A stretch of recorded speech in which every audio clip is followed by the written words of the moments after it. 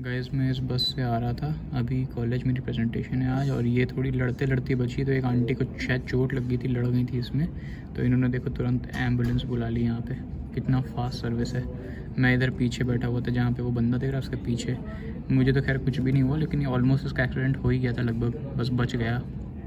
और जो है ये, देखो तुरंत बुला लिया। किसी को चोट नहीं लगी, खाली एक आंटी थी, आगे वो गिर गई थी बहुत तेज़। हाँ तो दोस्तों, आज हो गई है शाम। अभी बज रहा है शाम का ऑलमोस्ट सात बज गया है, पाँच मिनट बाकी है।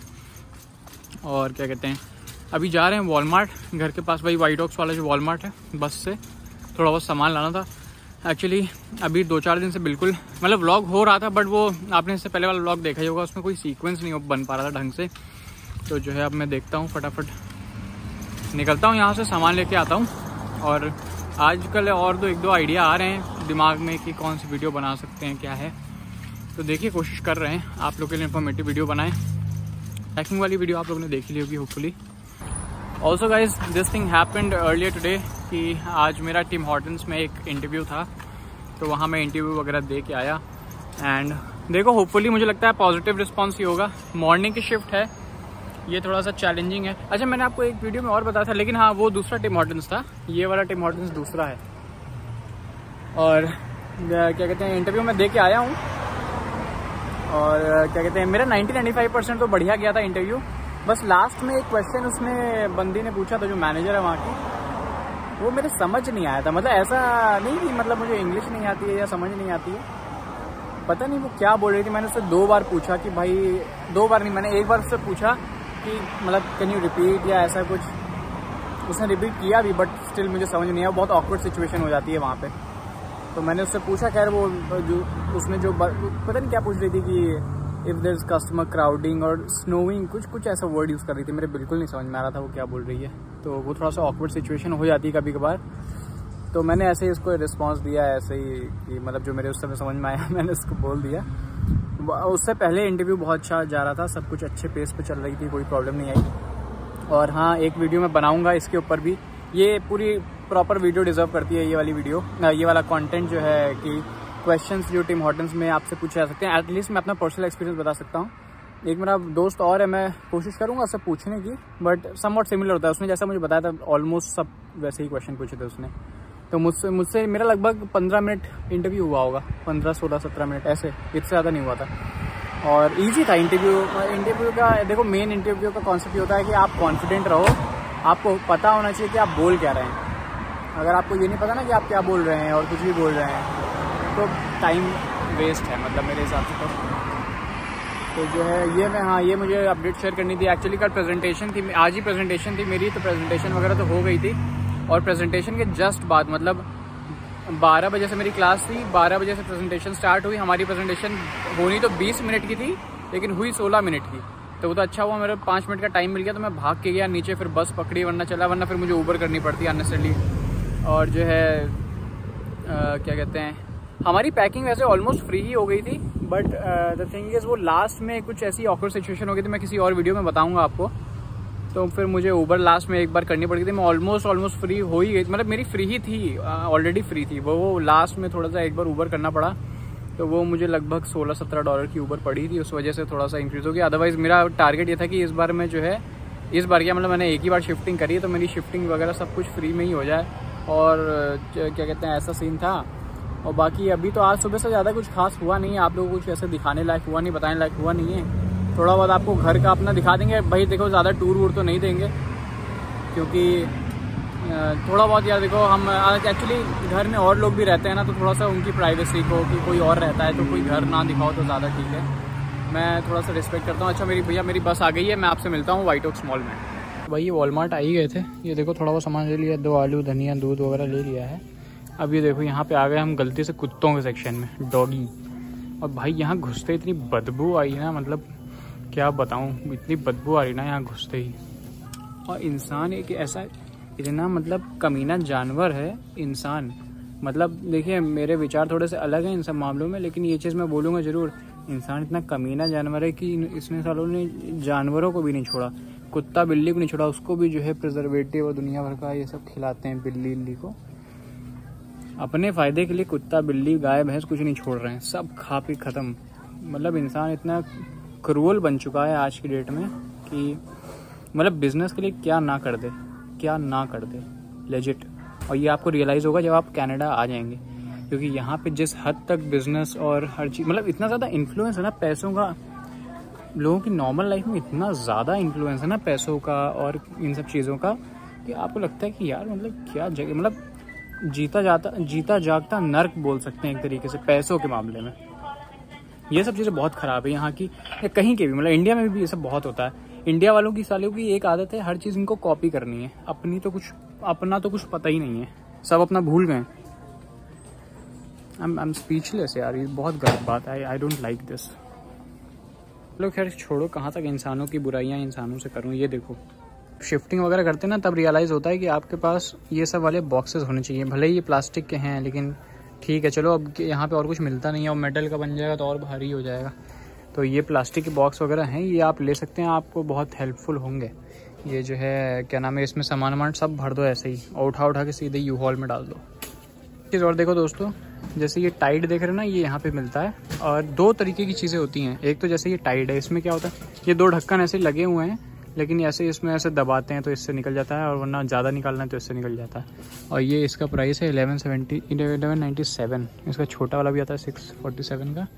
और इसमें एक जुगाड़ और होता है। हाँ ये ये देखो, ऐसे ये स्मॉल स्मॉल पॉड्स होते हैं, ये ऐसे घुल जाते हैं। मतलब पानी में ऐसे डालते हैं, ऐसे रबर ये देखो, ऐसे ऐसे होते हैं देख रहे हो इस टाइप के होते हैं? ये वो अच्छे होते हैं मतलब। तो ये ये कोई भी ले सकते हो। लाइक डिपेंड करता है तुम्हारे ऊपर तुम्हें कौन सा चाहिए। दही के लिए मैं दोस्तों हमेशा आपको यही बोलूँगा कि ये जो खास का रखा है ना, हलाल वाला, ये वाला लें। काफ़ी सही होता है। मतलब इन, ये खूब सारे ऑप्शंस होते हैं अपने पास, ये वाला होता है कि मतलब ये वैसे ये वाला ट्राई नहीं किया कभी। बट अभी तक जो मैंने जितने भी ट्राई किए हैं, ये वाला किया है, एक एस्ट्रो का आता है वो किया है। ये वाला मुझे सबसे अच्छा लगा, फ़िलहाल। ये देखो ये देखो दोस्तों, यहाँ पे ऐसे चीनियाँ मिलती है और यहाँ पे चीनी ना बहुत ऐसे पाउडरी फॉर्म में होती है। देखो, ये देखो थोड़ी सी गिरी भी हुई है ये देखो कैसी चीनी मिलती है यहाँ पे। यहाँ पे अपने यहाँ जैसे मोटी मोटी चीनी होती है ना इंडिया में वैसी वाली नहीं मिलती है। देखिए यहाँ पे ऐसे चाबी बनती है और buy two get one free है। इतनी चाबी कौन बनवाएगा? हमें तो एक ही बनवानी है। और ये देखो, इसके अंदर का ऐसा सिस्टम है। खूब सारी इसमें चाबियाँ रखी होती है। इसमें खाली आपको इंसर्ट करनी है। और चाबी बन जाएगी। हमको अपने नए घर में आए तो एक चाबी और बनवानी है जस्ट बिकॉज़ कहीं खो ना जाए, उसका अलग खर्चा है क्योंकि। देखो भाई, चाबी इसमें लगा दी है पेमेंट हम कर चुके हैं। अभी देखो अंदर अंदर सारा माहौल है। अब देखें, देखो, ये देखो। ड्रिलिंग चालू हो गई है, चाबी बनना स्टार्ट हो गई है। अभी चाबी चूज़ करेगा जो हमने चूज़ करी है नॉर्मल वाली।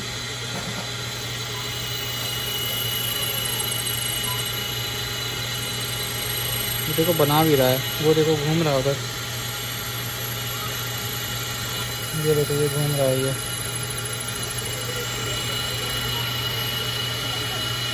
वो देखो हमारी चाबी भाई, बन रही है मस्त, मशीन से वो भी।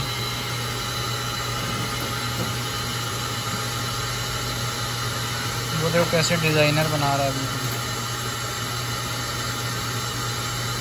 वो देखो फेंक दिया पैसा लिया और फेंक दिया। चाबी ये देखो बढ़िया बन के रेडी है।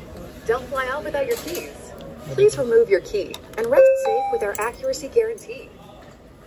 तो चाबी मैंने बनवाई चाबी मुझे पड़ी फाइव पॉइंट आफ्टर टैक्सेस 5.49 की मुझे चाबी पड़ी थी।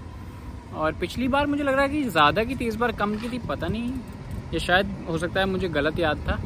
5.7 लाइक साढ़े पाँच छः डॉलर के आसपास की चाबी आपकी बन जाएगी। ये बिल्कुल बेसिक ब्रास वाली जो चाबी होती है, वो वाली होती है। और वॉलमार्ट में ही बनती है चाबी। और तो मैंने कहीं देखा नहीं है, हो सकता बनती भी हो I don't know but Walmart में बन जाती है, सस्ती बन जाती है। और क्योंकि देखो, मैं आपको ये बोलूँगा, चाबी, जैसे आप कहीं पे रहने जा रहे हो ना, आप आ रहे हो, आपने अकोमोडेशन लिया होगा तो जो चाबी ओनर की है ना, जो ओरिजिनल चाबी है, वो मत यूज़ करना।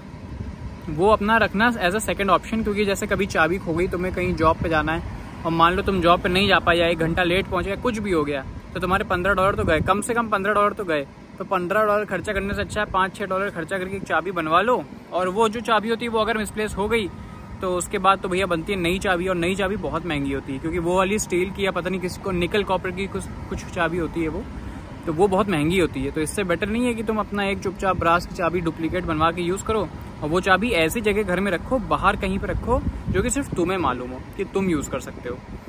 तो ये एक टिप थी मतलब ऐसे ही मैंने सोचा बता दूँ आप लोग को। अभी जा रहा हूँ घर बस आ रही है दस मिनट। पहले मैं सोचा था कि वॉकिंग चला जाऊँगा, आजकल मैंने पास में ही ले लिया।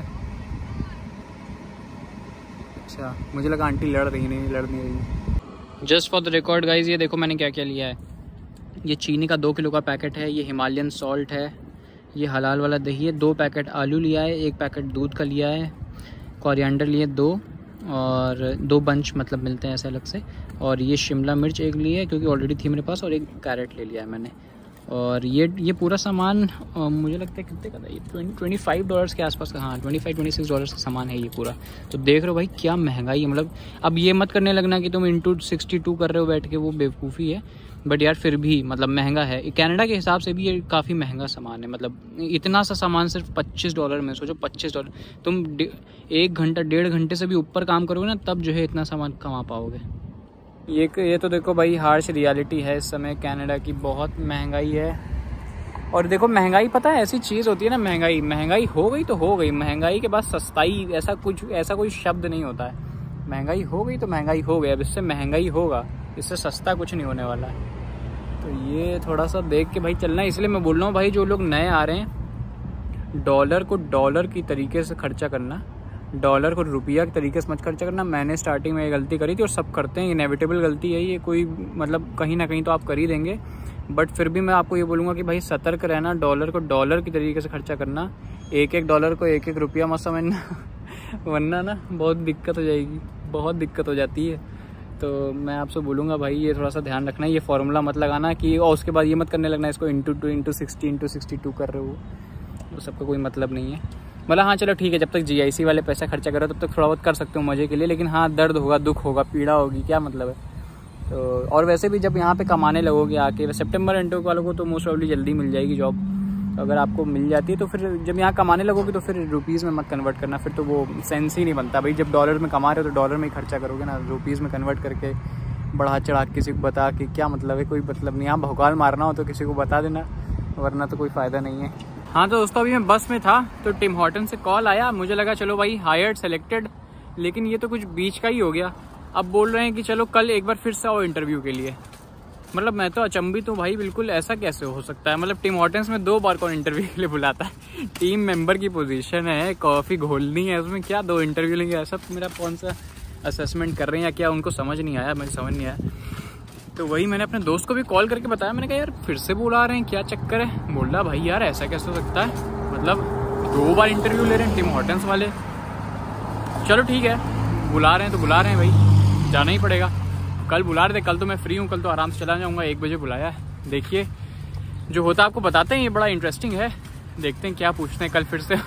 और अगर उन्होंने सेलेक्ट कर लिया, मैं फिर पूछूँगा उनसे कि भाई, क्यों मुझे दो बार क्यों बुलाया भाई, आपने दो मतलब एक बार मैं मार्केटिंग फॉर्म में मेरा इंटरव्यू था यहीं पे। वो तो मैंने ऐसी फर्जी प्रोफ़ाइल बना के भेज दिया था। तो उसने मुझे बोला था कि दो राउंड होते हैं इंटरव्यू के। तो ये सब जो दो राउंड वाली जॉब्स होती हैं, ये सब थोड़ी सोफेस्टिकेटेड जॉब होती है मतलब टिम स्विम्स वाली वाली जॉब नहीं होती। चलो खैर देखते हैं। दोस्तों सनसेट देखिए इतना सुंदर सनसेट हो रहा है इस टाइम कचरा है, जो कचरा पड़ा है ही ये देखो सनसेट कितना अच्छा हो रहा है। बादल भी बादल हैं। ये देखो दोस्तों, कल हमने अपने घर की ग्रास कटिंग करी थी। कल नहीं दो तीन दिन पहले करी थी। तो देखो, जहाँ जहाँ पे ये पैचेस दिख रहे हैं ना, ये ऐसे वीड्स उगाते हैं। वीड वो गांजे वाला वीड नहीं होता है ये उग के आ जाते हैं ऐसे ही। तो इसको पहले बर्न किया जाता है, उसमें एक पेस्टिसाइड डालते हैं। और जहाँ जहाँ पे ऐसे पैच दिख रहे हैं ना, वहाँ पे पता है क्या डालते हैं? ये देखो, ये है, ये ग्रास के सीड्स हैं। ये देखो, अब मैं इसको डाल के आपको दिखाता हूँ, इसको कैसे डालते हैं। बस ये ऐसे ही नॉर्मली होता है। इसको हाथ में ऐसे लेते हैं, और जैसे ये पैचेस में है, ऐसे ऐसे करके, ऐसे ऐसे करके। डाल देंगे। तो अब इसमें जब बारिश होगी या कभी पानी वानी ऐसे डाल दिया तो ये मस्त घास उग के आएगी। ये देखो भैया आज क्या प्रिपरेशन हो रहा है। आज बढ़िया आइटम बनने जा रहा है। नूडल्स निकाले हैं हमने आज। बढ़िया शेजवान वो गार्लिक वाली नूडल्स बनाने जा रहे हैं। और दोस्तों आपको खुशखबरी देना तो भूल ही गया। आज आज एक्चुअली वो वाली पहले तो मैं वो वाली वीडियो बना दी है मैंने आप लोग के लिए। आपने अच्छा वो तो देख ही ली होगी खैर आपने। दूसरी बात यह है कि भैया टिम हॉटन्स में जो सेकेंड इंटरव्यू के लिए बुलाया था। फाइनली उन्होंने मुझे हायर कर लिया है। पता नहीं कितने दिनों बाद, मैं 10 अप्रैल को यहाँ पे कनाडा में लैंड हुआ था। आज है फोर्थ ऑफ़ अगस्त आप इमेजिन करिए इतने दिनों बाद। हाँ मैं ये नहीं कह रहा हूँ कि मैंने हंड्रेड परसेंट ट्राई किया, सब किया। ऑब्वियसली मैंने उतना नहीं किया था बट स्टिल मुझे कितने चार महीने, कितने दिन बाद जो है जॉब मिली है। तो संडे से मेरी शिफ्ट की स्टार्टिंग है। और भैया, चलो मिली तो भाई, कोई तो जॉब मिली। इतने दिनों से कुछ भी नहीं मिल रहा था। थोड़ी बहुत तो वो भी आदमी को हो जाती है कि यार कब मिलेगी कब मिलेगी। तो भाई मुझे बताना था एक्चुअली वो वीडियो वगैरह बनानी थी आप लोग के लिए। उसके चक्कर में आज ज़्यादा ब्लॉग व्लॉग बना नहीं पाया। तो ये है सिस्टम भैया वो लग गई है जॉब तो हमने सोचा आप लोग खुशखबरी तो दे ही दें। ये देखो भैया, चाउमीन बन के रेडी है। गार्लिक नूडल्स बनाए। हैं और देखने में तो बड़े अच्छे लग रहे हैं। खा के देखते हैं कैसे हैं। मैंने कनाडा में पहली बार नूडल्स बनाए हैं आज।